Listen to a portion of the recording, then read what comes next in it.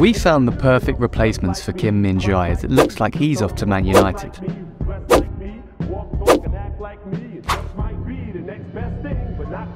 Levi Colwill is the dream pick. He matches Kim's aerial presence and ball playing ability. Kevin Danso is the realistic option.